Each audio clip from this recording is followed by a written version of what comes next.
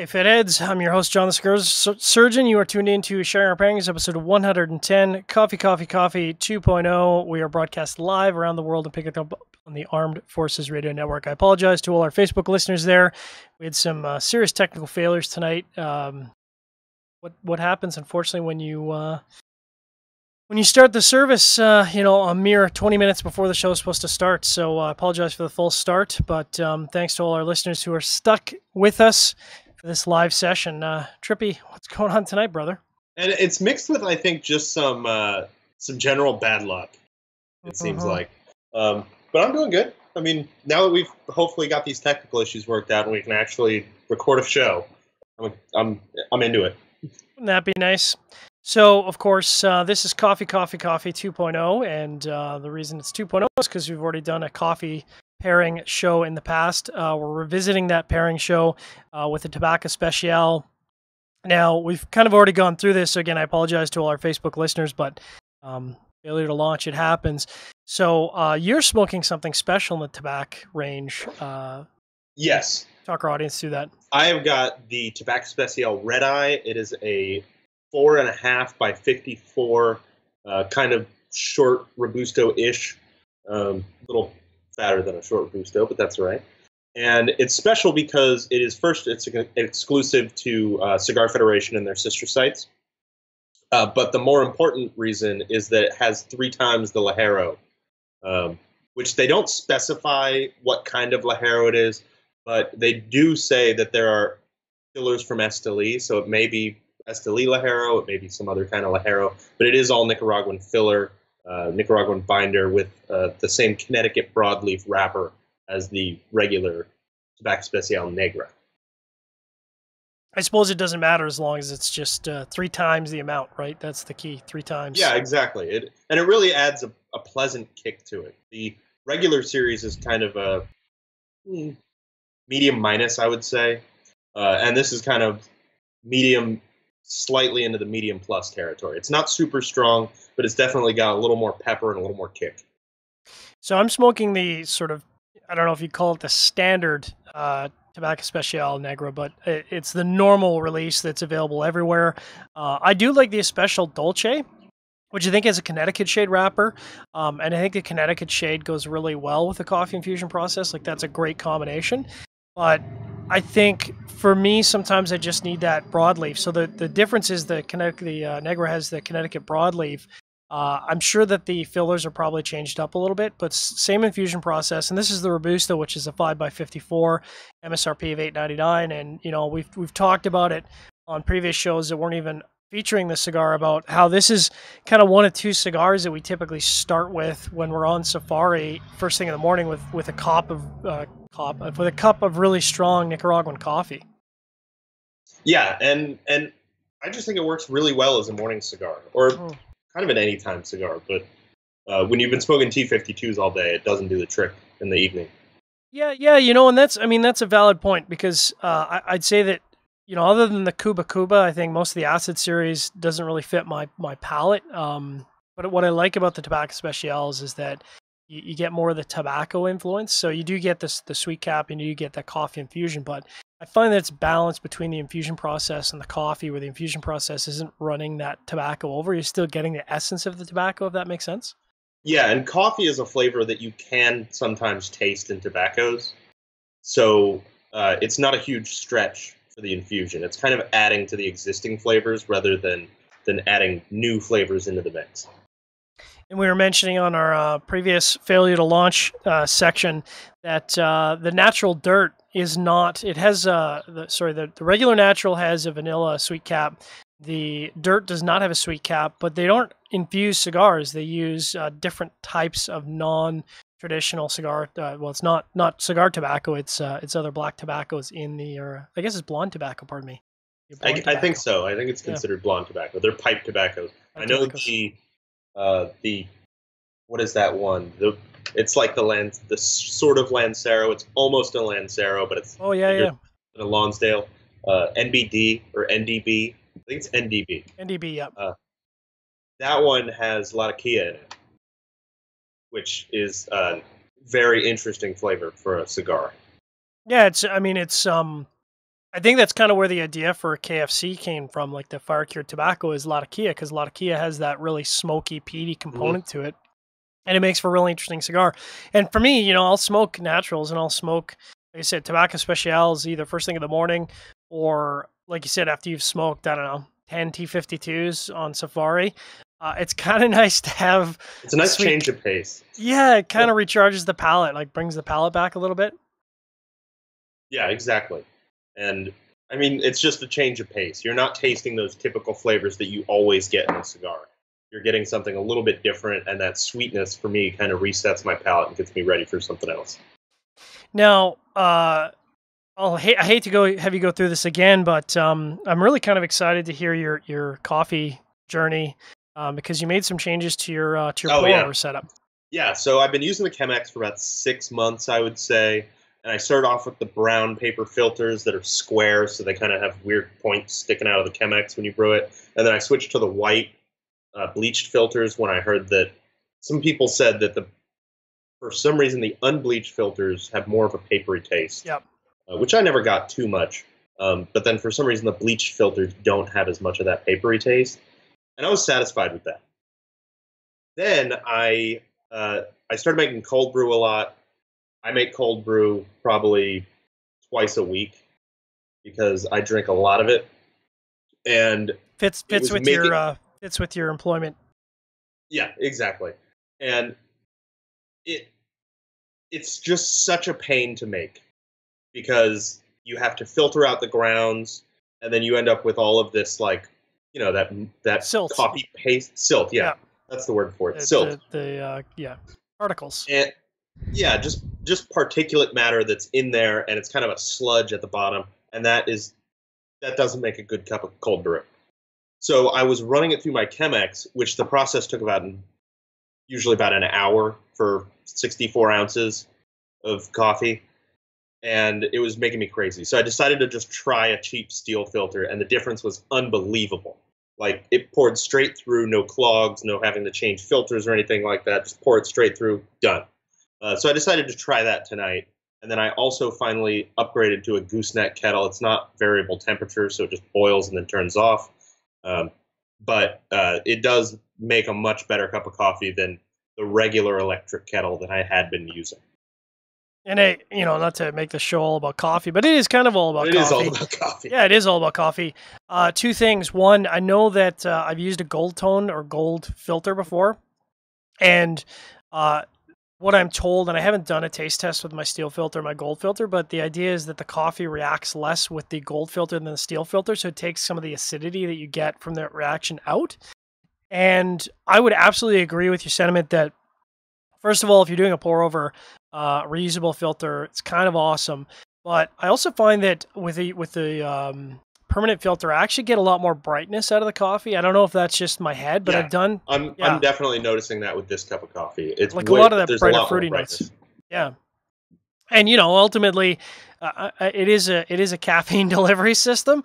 But I mean, if if I could adjust to no caffeine, I would still drink coffee because it tastes great. And I like I've you know I've been drinking coffee I think since I was like seven years old because I love the taste. I've always had a jacked up palate. I mean, I used to eat jars of olives when I was a kid. So I've always had a weird palate, but for me, coffee is absolutely all about the taste. The caffeine delivery system is just an added benefit to make me not murder people first thing in the morning. Yeah, coffee. I mean, it's a lot of work to make a good a good cup of coffee, mm-hmm. and so on like on days that I just need that caffeine and I don't have time to deal with coffee, I'll have like a rock star or whatever. Yeah, yeah. But the reason I make coffee is because I love coffee. yeah.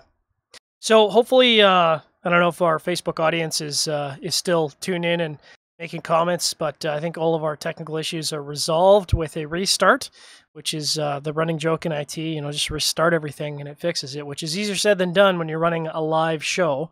But uh, hopefully, yeah. all the issues are now resolved.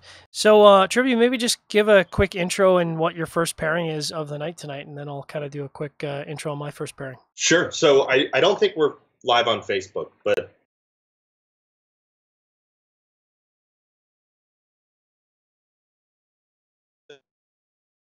So sorry, you, you, you stalled out there. Try that again.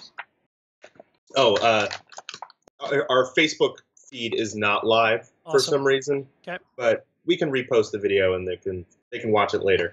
So my first pairing of the night is Layne Coffee Nicaraguan El Dorado. Um, so this is from our buddy Logan, who also is in charge of uh, us right here at Cigar Federation. Uh, this is a coffee grown in the Matagalpa region of Nicaragua, and it's uh, kind of a full flavored coffee bean that he roasts to a medium roast. And uh, as he describes it, it's got blackberry and butterscotch flavors, low acidity, medium body with a light milk chocolate finish.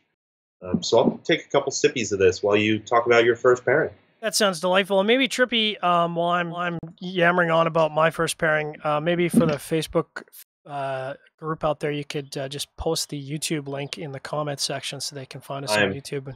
I can do that. Thanks very much, brother. So, uh, normally I would do coffee for a show like this, and I've done coffee, and I'm a huge coffee fanatic. I've been roasting coffee for like I don't know nine, maybe ten years now, and I love. I'm deep on the coffee. I have like six different coffee apparatuses. I have a new espresso machine on the way. Shh, don't tell the fiance. And I love coffee. I mean, when I'm in country, I drink coffee nonstop. But there's a side effect from that, and that's the caffeine uh, keeps me up. I'm a really, really light sleeper. So if I adjust my caffeine cycle, uh, unfortunately, you know, I'd be up. I pretty, pretty much wouldn't sleep tonight if I had coffee right now. So, in keeping with the spirit of the show, which is a little bit tongue in cheek, I'm going with a Irish whiskey. And you might be thinking, well, what does that have to do with coffee, John? Well, if you tune into our Coffee, Coffee, Coffee 1.0, you know that uh, one of the things that's integral to Irish whiskey making and some Scotch making is a coffee still, also referred to as a continuous still, but it's named coffee still for the gentleman that invented it, which his last name is Coffee. So that's that's the tie-in. Uh, quick hits about Kilbeggan. Kilbeggan Distillery is the oldest licensed distillery in Ireland.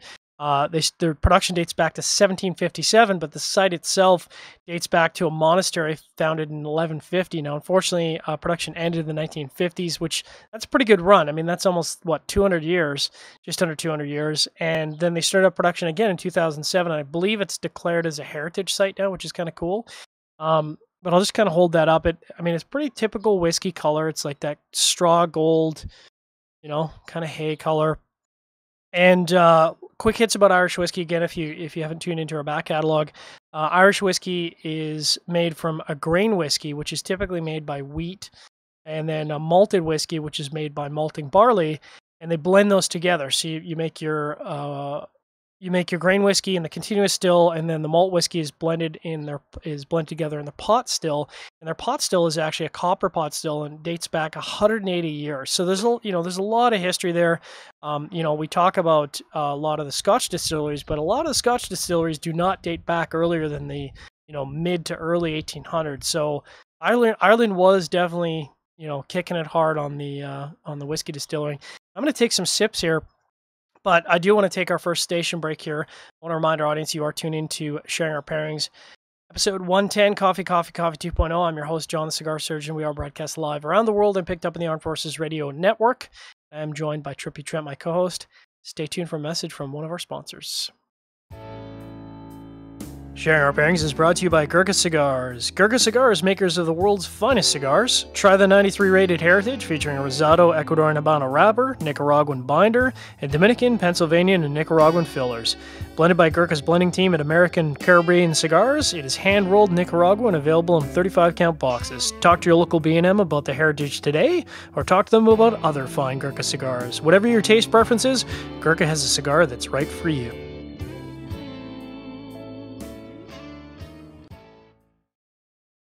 And we're back. So I'm taking, uh, I'm gonna take some sippies of my uh, Irish whiskey here, and I'll let uh, first Trippy talk about how his first pairing of the night is going. So I thought this would go really well with black coffee. And it sort of does, but in a different way than I expected. I expected there to be a lot of complementary flavors, but it's actually the sweetness of the uh, the sweetened tip on the cigar makes it almost like having a like a chocolate donut with coffee, where you know you're kind of getting that. You're not getting much sweetness from the coffee because I drink my coffee black, but you get a lot more of those roasty, fruity flavors from the coffee, and uh, it kind of covers up the. I'm not sure if I'm getting far enough into the cigar where I'm not noticing the coffee flavoring as much, but I'm certainly not noticing as much coffee flavor as I was at first. Um, I think it's because the the actual coffee that I'm drinking that I'm pairing with is kind of covering up those flavors. But I do get a lot of pepper and a lot of sweetness from the tobacco, uh, which is really pleasant. It, they go together pretty well. I mean, unsurprisingly.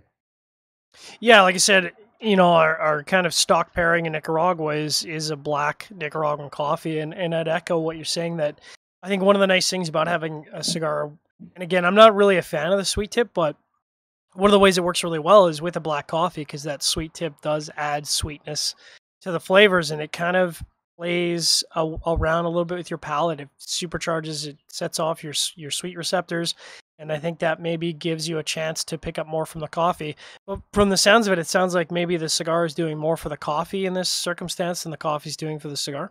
Yeah, I, I definitely think you're spot on there. Um, yeah, the the sweetened tip I'm not usually a fan of, but it is kind of uh, it does kind of help out the coffee. It's I'm not used to having like I pair up pretty often with coffee. I smoke a cigar in the morning, uh, and I'm not used to having that sweetness. It's kind of nice. Well, I'm talking about uh, whiskey. Um, I mean, it's I say like whiskey. The Irish whiskey is blended to be very approachable. It's not like mm-hmm. Scotch whiskey and um, that the flavors are overpowering. It's not like the, um, you know, you. I don't. I mean, I, am trying to think of a really polite way to say it without slamming Irish whiskey because I really like Irish whiskey. It's just not a full flavor. Like if you think about it in terms of tobacco, where uh, you know, we talk about strength levels of tobacco and we talk about strength levels of this and strength levels of that. Well, the deal with Irish whiskey is it's meant to be very approachable, very drinking. It is. Now, within that, there's some subtlety of some flavor. There's some sweetness. That uh, sort of uh, bright, fruity quality that's very, very light. And I think it's going well. I don't think it's, um, you know, it's not reinventing the wheel for me. Um, I don't think that either of these the spirit of the cigar is really doing anything like the the spirit is not supercharging the cigar cigar is not really supercharging the spirit but it's pleasant. I mean it's an enjoyable experience. Um, you know i think it, it to me it shows that you can pair a different kind of spirit with this cigar other than going straight coffee or a pop or anything like that and i think it's still working for me.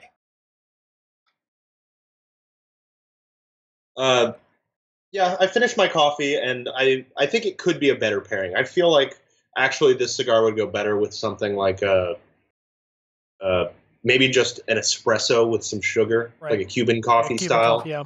Um, but I, I think the sweetness of the cigar kind of drowns out the other flavors of the cigar uh, when you're pairing it with just straight black coffee. Well, and it could, well, and it could, you know, it could very well be the varietal coffee as well. Because yeah. I mean, you know, there's thousands and thousands and thousands of different kinds of coffee. Like maybe something like an Yirgacheffe would go really well, where it's got that sort of cinnamony quality and, and a little bit of spice there. Um, you know, yeah. I think one of the yeah, I could see that going really well. I, I think one of the dynamics of this particular cigar is that you know there's a multitude of different like chais and chai teas and, and different coffee. Oh, I could see a chai going really well with this thing. Yeah, like I think there's a lot of you know when people talk about because we get asked very often for people who aren't uh, alcohol uh, alcohol imbibers, you know, what can you pair? And I think this is one of those cigars that might actually do a lot better with non-alcoholic pairings versus alcoholic pairings. Um, again, I think this Irish whiskey is tasty, but uh, it's not really breaking the bank for me in terms of flavor complexity on either the cigar or the whiskey. Yeah, understandable. So I think what I'll do here, because um, I'm running a little fast, is I'll get into my second pairing of the night, and I'm going in a in a completely different direction. Uh, still keeping within that coffee theme, uh, and I was shocked I haven't had this on the show before because I've had so much product from Stone Brewing. But this is the Stone Xocoveza. I've still never even had that. It sells out here so fast. I mean, it's something special. Now they say this is for the holidays, for the New Year. I think this um this this has been sitting in my cellar quote unquote since like November of 2016. Um, and I'll talk about it in a sec. I'm gonna hold it up for our live audience and uh, show them the color. I mean, it's stouty. It's got that nice thick, thick stouty element to it. It's got a great viscous head. Uh, I've warmed it up a little bit so I can get the maximum amount of flavors out of it. Stone Brewing, of course, we've had on the show uh, multitude of times. I mean, I think it's you know along with Rogue, maybe the two uh, most featured spirits slash beers on our show that we've had in, in all of our 110 episodes. Uh, Stone Brewing was founded by Greg Koch and uh, Steve Wagner in San Diego in 1996. Uh, they're now the 10th largest craft brewer in uh, in the world, not even the United States, in the world. So that's, I mean, they're huge.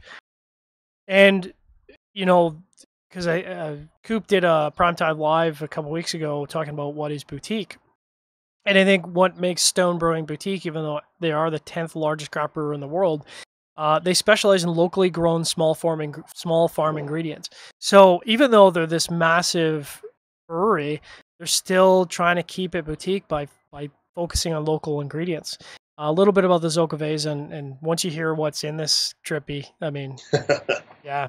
So they use Mostra coffee, and Mostra coffee is done in San Diego, fresh brewed, obviously. Uh, Pasilla peppers. I don't know. I'm not familiar with Pasilla peppers at all. Uh, of course, vanilla, cinnamon, nutmeg, and then milk sugars, which is you know, so it's kind of a um, really it's a it's a milk coffee stout would be a better description. This is only 8.1. I say only 8.1 uh, ABV. And then 50 IBUs, which is not uncommon for a stout. We sometimes see the AB IBUs go 50, 75 up in that range. Uh, for hops, they're using English Challenger and East Kent Golding.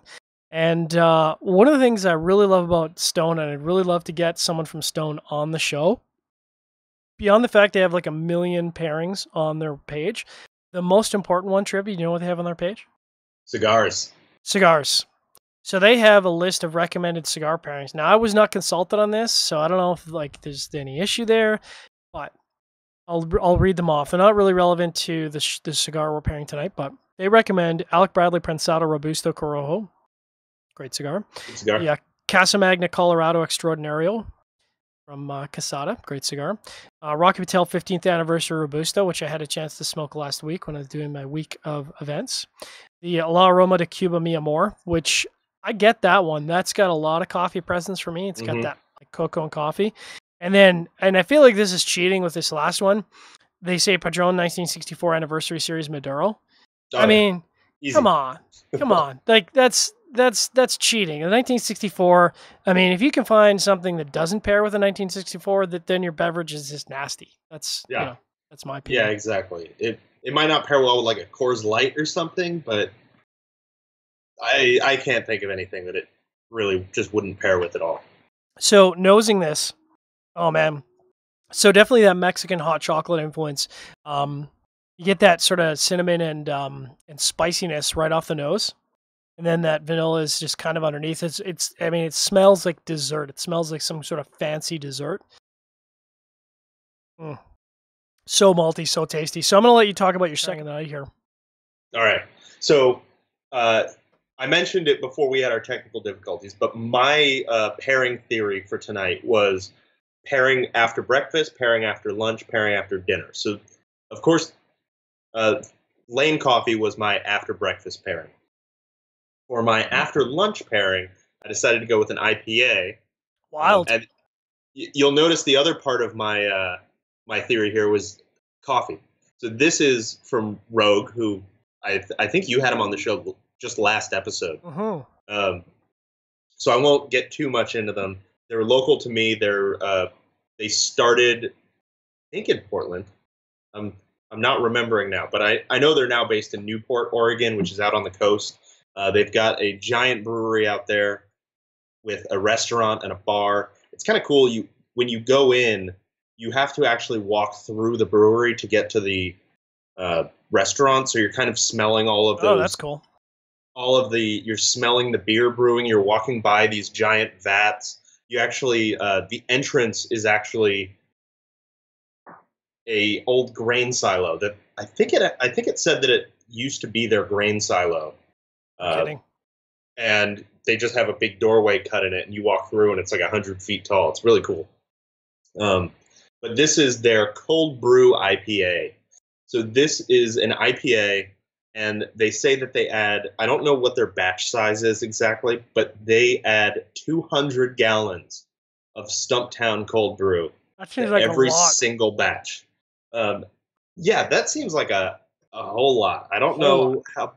I mean, I've seen their brew kettles, and I don't know how big they are, but they're very big. I would guess a couple thousand gallons. Um, but still, they're replacing a lot of that water with just straight up cold brew coffee.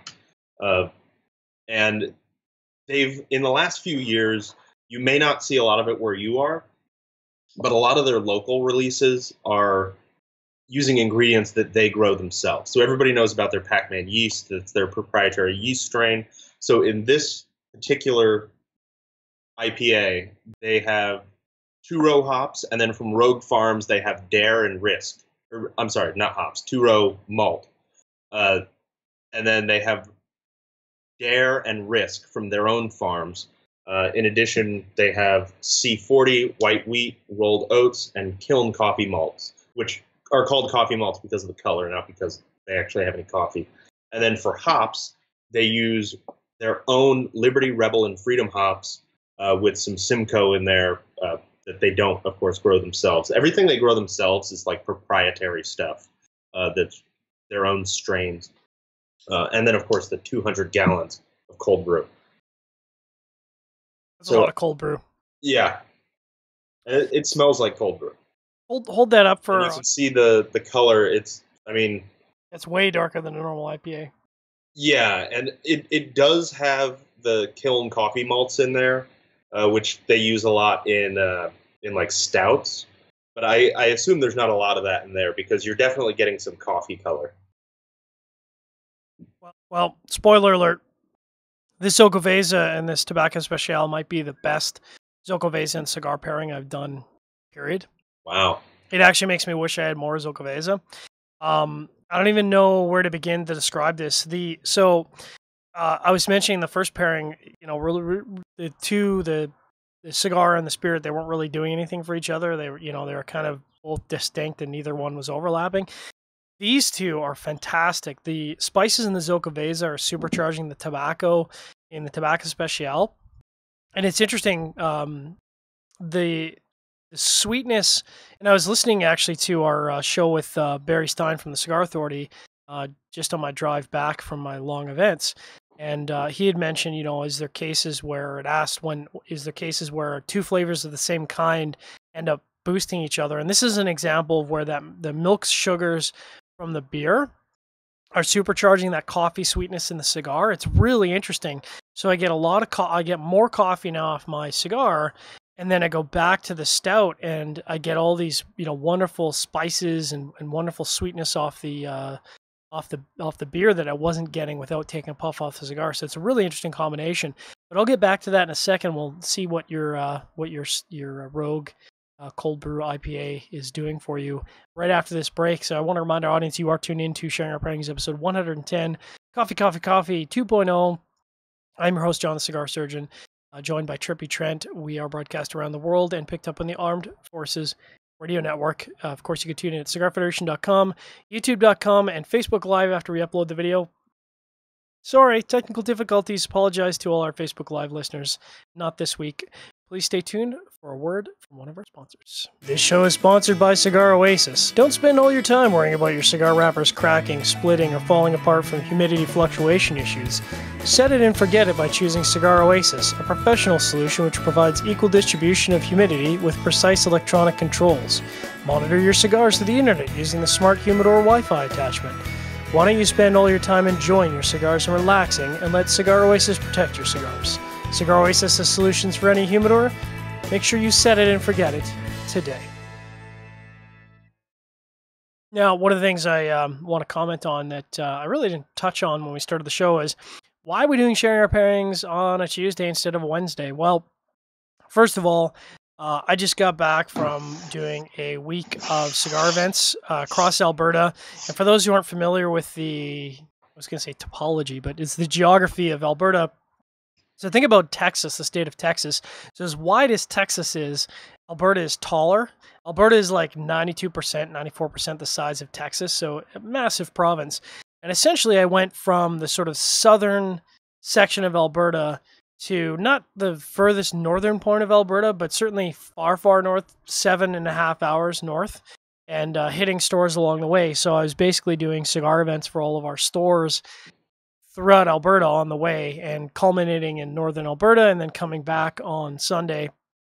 So a little tired, uh, but why we're doing it on Tuesday is because uh, I signed myself up for a whiskey tasting. I know, poor me, on the Wednesday and completely forgot about it on my calendar. So, uh, you know, I wanted to give our audience a live show, and uh, so we're doing it on Tuesday, and that's that's my story. Uh, totally interesting, I'm sure. Trippy, how is that uh, second pairing of the night going for you? Uh, this is delicious. There, there are a couple things I forgot to say about it. It's 7.5% alcohol by volume. It's a lot for Uh, IPA. Yeah, 82 IBUs. Woo. Um, and it's really interesting. So this is a style that I I think we talked about it a couple weeks ago when I said why don't you pick up a coffee IPA and you said what's that? Um, I think this is a style that's sort of unique, uh, or at least just starting to get out there. There there are probably I don't know five or six breweries that are doing it around here, uh, where they're mixing coffee with IPA, and I find it's a really really pleasant com- combination. Uh, you get you start off with that like fruity bitter hoppiness or fruity hoppy bitterness rather and then you taste coffee and then the finish is just all hops and coffee which sounds like a weird combination but i think it really works and it really brings out some creaminess in the cigar Creamy. and yeah some it's creamy it's spicy uh, and i think this is just a good pairing So I think what's funny is that I'm positive I've seen that on the shelves. In fact, I'm pretty sure I saw that on the shelf when I went on my uh, most recent bottle hunt, uh, trying to queue up and uh, charge up for next week's event, next week's show. Uh, I'm positive I saw that on the shelf, and I don't know why I didn't pick it up. I, I think it's just because I'm not ready for IPA season, which you know yeah whether I'm I'm ready for IPA IPA season or not. I was just looking on the local inventory lists, and it's IPA season. Like we are Oh, yeah. fully into IPA season and goes the season. Like all the stuff that came into our the bottle shop is all IPAs, all goses, with like the occasional ale and pilsner, but it's like mostly IPAs and goses. Yeah, and and those are my two favorite styles. IPAs, gozas, and barrel aged stouts. The only problem is that goses uh, are really, really tough pairing with a cigar. IPAs we Mhm. found, you know, there is some some styles that pair really well. Goses, sourness and cigars, bro, just not a Yeah, they just don't go together. Uh, Oh. I I know of a couple. Like the only one I can think of is the uh, the Viaje Leaded. It's got Ooh. a ton of citrus in addition to the spice that it's got from that extra Ligero or the extra Medio Tiempo, rather. And I think that the citrus in that cigar goes really well with the Gose. But that's the only one I can think of. Yeah, it's. I mean, we. I know we've uh, we've had Gose shows in the past, and they've not gone very well. I think we threw uh, Aaron Loomis from Developing Palettes into the uh, bus on that one, and he took it like a trooper. Uh, we should probably have Aaron Loomis from Developing Palettes back on for a normal show so he can uh, have some decent pairings. But I digress. Uh, I don't know how your pairing is going, but uh, I feel like the sweet spot for this cigar is any kind of coffee infused or coffee related beer because I'm ready to just stop and just continue to drink this beer and just smoke this cigar and like everything about this. I don't want to say it's perfect, but this is this is damn near perfect. Um, for me, the the IPA is just a little too hoppy for this cigar. I think it's a good combination. The finish goes really well with the cigar, um, but the hoppy up front kind of blows out your palate a little bit because it's. I mean, this is a very hoppy beer. Now you uh, like are you finding that um because it's blowing your palate out it's just running the cigar over like you're not getting any of the nuances of the cigar it's just it's just a funky pairing. It's just kind of a shock to the palate. So after I take a sip of the beer and I kind of get that hoppy and coffee kind of finish, it goes really well with the cigar. But you know, I take a puff of the cigar and I enjoy that. And then normally when your pairing goes really well, you take a sip of the pairing beverage and you kind of uh, you know, it brings out some of the flavors in the beverage. And this, the hops just kind of blow out my palate a little bit, uh, pretty briefly. But I guess blowout isn't the right word, but shock is right. definitely the right word. Well, like I said, I think uh, any kind of, uh, and I've got a couple coffee porters, and I think I might revisit the Tabak Especial with some coffee porters.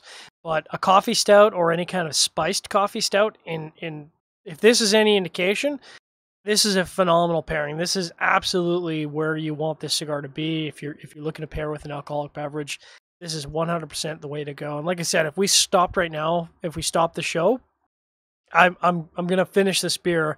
I'm gonna finish this cigar, and I'm gonna be in my happy place. But that being said, we do have a third pairing of the night, and we should probably uh, we should probably get to that. Yeah, our work is not done yet. Our work is not done. So uh, this is my wild card because it's coffee, coffee, coffee, not coffee, coffee, coffee, coffee, coffee. If you're tracking the number of coffees there. So uh, I was at my local bottle shop, as I mentioned, and I, as a Scot, as a person with Scottish ancestry, I'm loath, loath to give up really good deals, and there was a great deal. And this is one that should have a regular place in my in my bottle, in my uh, humidor, humidor, in my whiskey cabinet. And I haven't had this bottle on my shelf in a really long time, and this is the Glenfiddich 15. And uh, I know that there's a lot of people out there that have really I think there's a there's a lot of diverse opinions between the 15 and the 18. I find that there's a lot of people that prefer the 18 over the 15, and this equal. It's probably split right down the middle. I actually prefer the 18 over the 15, but I think for tonight's pairing, 15 is probably a better match for this cigar. Glenfiddich, of course, I've featured on the show numerous times. They should probably uh, sponsor the show at this point. But uh, they are Speyside Distillery located near Dufftown, uh, one of the largest distilleries, maybe even the largest distillery in Scotland. And I've had the great fortune of taking a tour through the facility. Really cool tour, and of course, you know, lots of um, lots of Glenfiddich poured for you for tasting. And they've kind of got that cool display cabinet where they show you, you know, 50, 75 years of spirit on the shelf. Like they've got little bottles of all the different spirits throughout the year, which I think is awesome. And Glenfiddich Fate Founds uh, dates back. It's founded in 1980, 1886. They use the Robbie Dhu as their water source.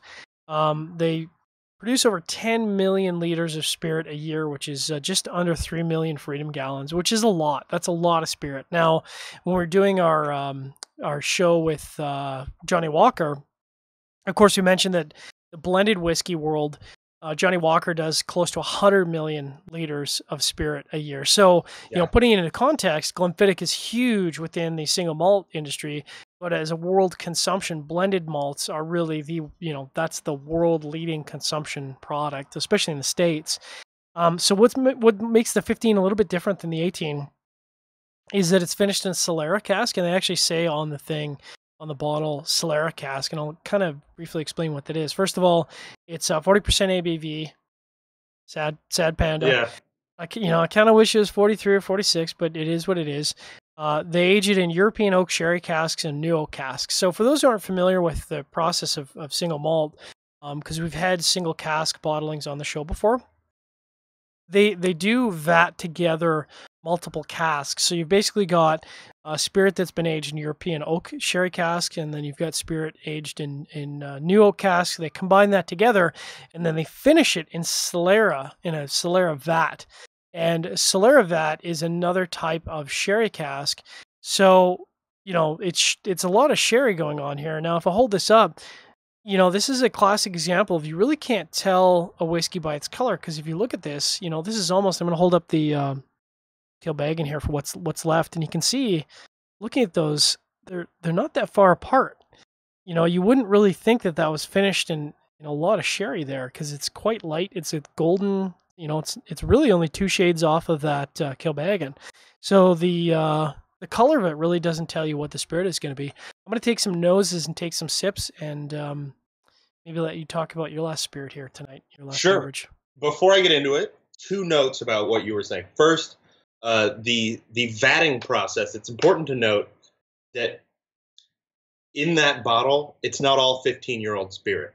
Correct. It could be anywhere up to you know 50 years. Uh, it's just 15 is the minimum. So everything in that bottle is at least 15 years old. That's right. The other thing, And that's and that's and that's a consumer. Sorry, go ahead. No, you go ahead. mine I was was gonna say, and that's that, that that's a consumer protection mechanism because they don't want people advertising that it's a 22 year old spirit when there's only two drops of 22 year old spirit in there. So you know whether it's comprised of 97% 17 year old and 3% 15 year old, the youngest whiskey is what needs to be in the bottle, and that's the way they keep the distilleries honest.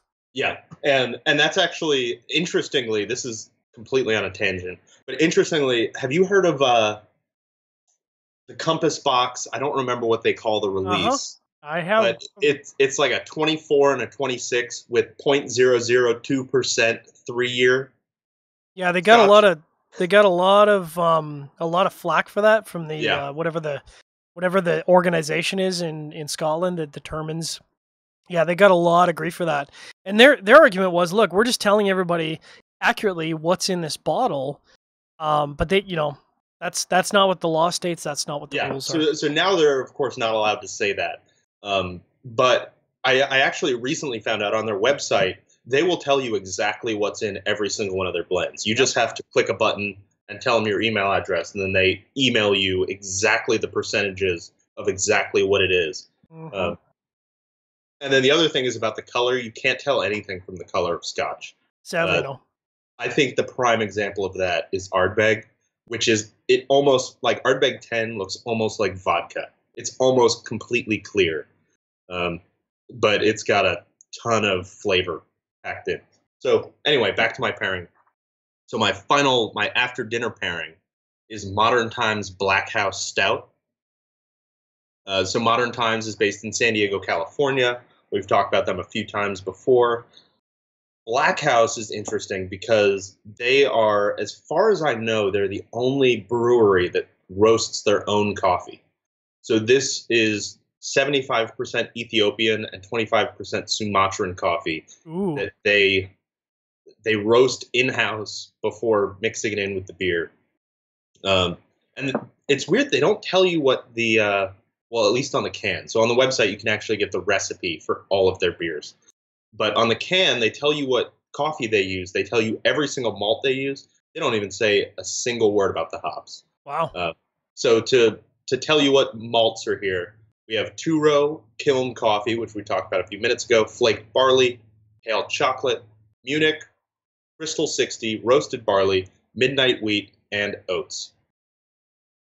And this is a a stout looking stout, but surprisingly, it's only uh, 5.8% alcohol by volume, which is pretty low for a stout. Um, but the nose is just all you know roasty coffee Roasty toasty. roasty malts and coffee uh, and it's it's kind of right in the uh, the middle ground of a stout at 40 ibus so it's not super bitter but it's got some bitterness to back it up so i'm going to take a couple sips while you talk about your glenfiddich Please do. And before I talk about my Glenfiddich, I uh, do want to take another station break, and I want to remind our audience you are tuning into Sharing Our Pairings, episode 110. Thanks to all our live listeners on YouTube at cigarfederation.com. This is Coffee, Coffee, Coffee 2.0, and I am your host, John the Cigar Surgeon, joined by Trippy Trent, my co host. As always, we are broadcast live around the world and picked up in the Armed Forces Radio Network. Please stay tuned for a word from one of our sponsors. Show brought to you by Drew Estate. Until June 30th, if you're a Drew Diplomat member, you attend a rewards program event and make a promotional purchase, you will receive a Liga Privada Velvet Rat. You'll also be entered to win a Drew Diplomat pewter ashtray, mega standing ashtray, or the Swag Closet Humidor, dubbed the Divorcinator. All these products were built and designed by Drew Estate Subculture Studios. If you're not a member, download the Drew Diplomat app from the Apple Store or Google Play Store today.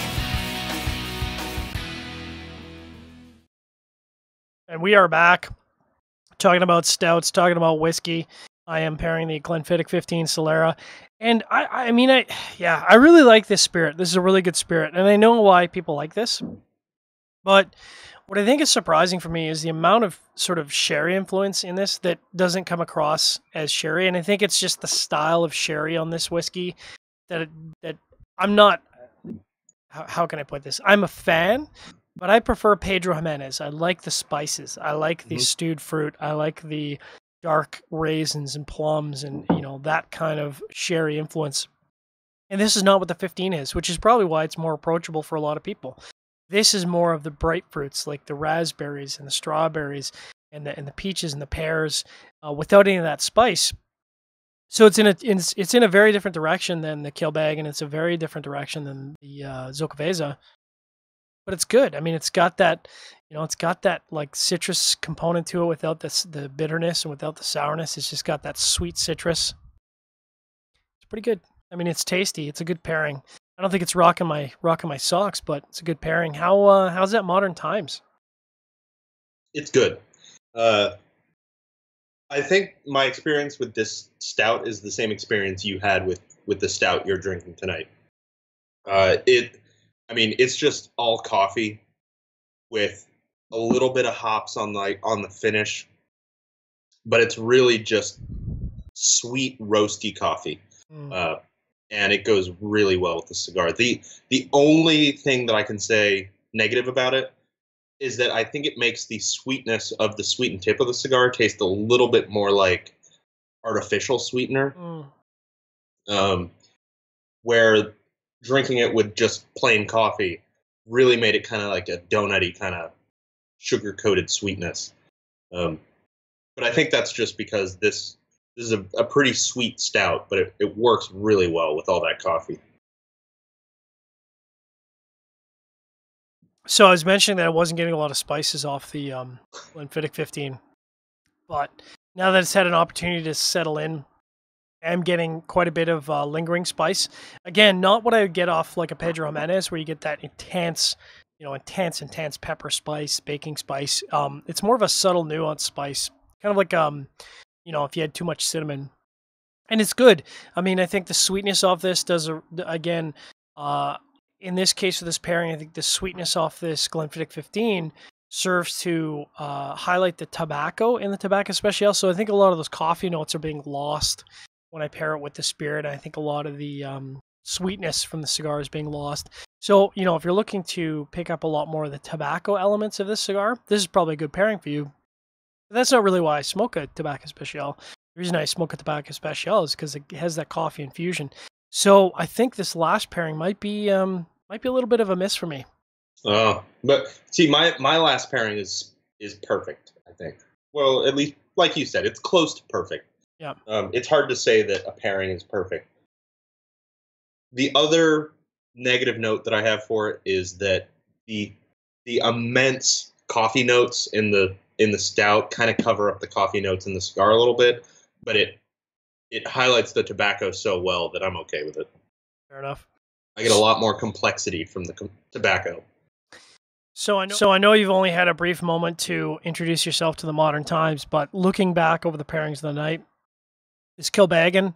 Um, easy pairing. Uh, you know, if you if you're a fan of Irish whiskey, I think Irish whiskey and the Tabak Especial they pair they pair fine, but you're not going to find that the uh, Irish whiskey is going to do a lot to highlight the components within the cigar, and you're going to find that the the cigar is not going to highlight a, a lot of components in the Irish whiskey. They're they're kind of on two separate train tracks. They don't really intersect at all. Uh, which is a little disappointing. I was kind of expecting more interplay there. So for me, I would kind of rate that that first pairing as an 81, 82. Uh, I would pair it again, but uh, I'm not going to seek it out. And with my first pairing, the uh, the Layne Coffee, I, I mean, I just think it goes really well. It's kind of you get kind of a breakfast feeling, uh, which is exactly the reason that we have almost the exact same pairing in Nicaragua. Is this cigar is just made to go with coffee. It'd be nice. It'd be a little better to have a sweetened coffee, um, just because I think the flavors would play a little better. But it it just goes really well with black coffee anyway.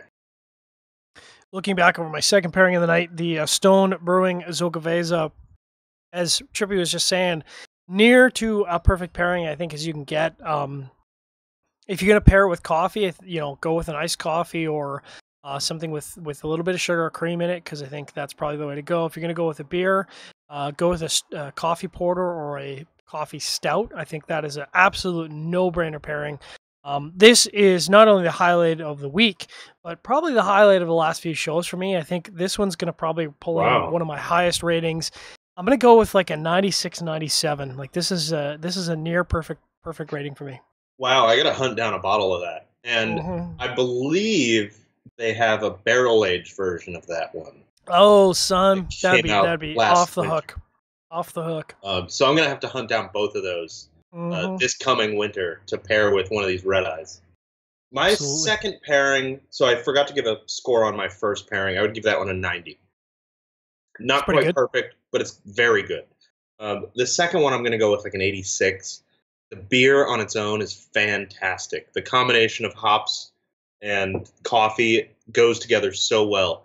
The problem is it kind of fights with the cigar a little bit, and and that palate shock you get from the initial kind of blast of hops just does not work with the cigar. Um, so again, this one's like an an 86. Which makes sense. I think we found that uh, anything with a lot of over hops, tough to find a cigar that pairs well. Um, Fire cured seems to be the uh, the no brainer. Yeah. Uh, last pairing of the night, Glenfiddich 15. Um, this is a little bit better than the Kilbeggan. Um, I think just because the Glenfiddich has a little bit more character, but it's not really the the ballpark. I think for this cigar, um, decent enough pairing, but I, I don't think um, I don't think it's right. I think the mismatch here is a little bit too much.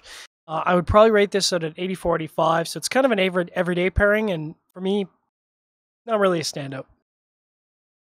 And for me, the uh, Modern Times Black House, uh, this is the pairing of the night. I would give this one a 90, 92, 93.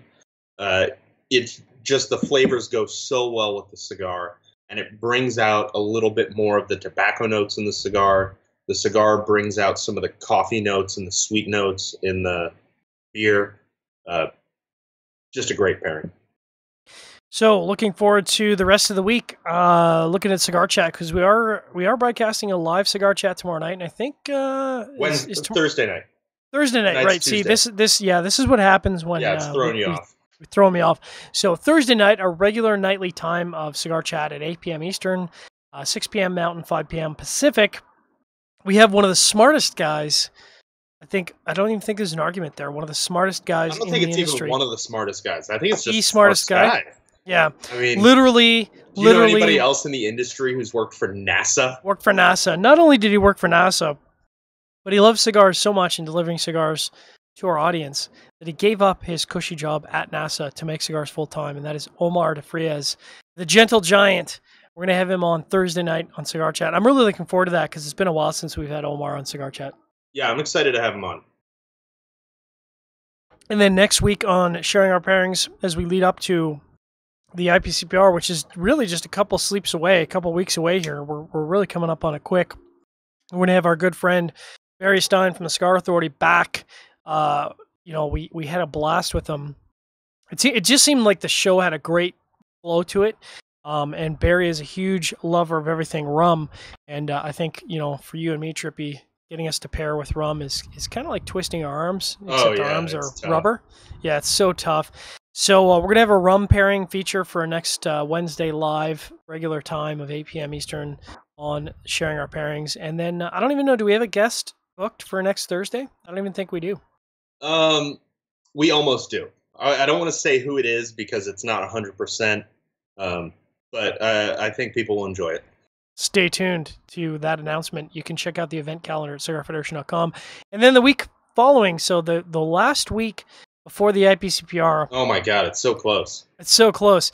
So uh, two weeks from now, and I'm I'm kind of I'm kind of um, uh, you know I'm a little nervous, but I'm a little excited. We're gonna have an old time favorite from sharing our pairings back. Robbie yeah. Rass returns from Mombacho. We're gonna do some Mombacho pairings. I gotta find a way to fit a pilsner in there, just as an homage to uh, Claudio Sgroi of the master blender and president of uh, Mombacho. But uh, Robbie's going to be back. Uh, that is sure to entertain. Uh, we're almost certainly going to have an after dark segment because uh, that's just how we roll.